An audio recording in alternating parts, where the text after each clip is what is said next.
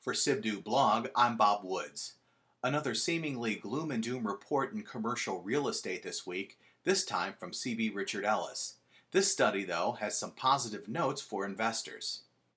CBRE says sales volume is way down to $29 billion in the first quarter of 2008.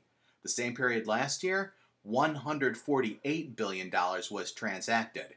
This echoes a report issued last week by the National Association of Realtors. But cap rates have moved up slightly, with office and multifamily seeing the sharpest increases, relatively speaking. CBRE is a bit skeptical of that data, though, mainly because high quality properties are about the only ones selling right now.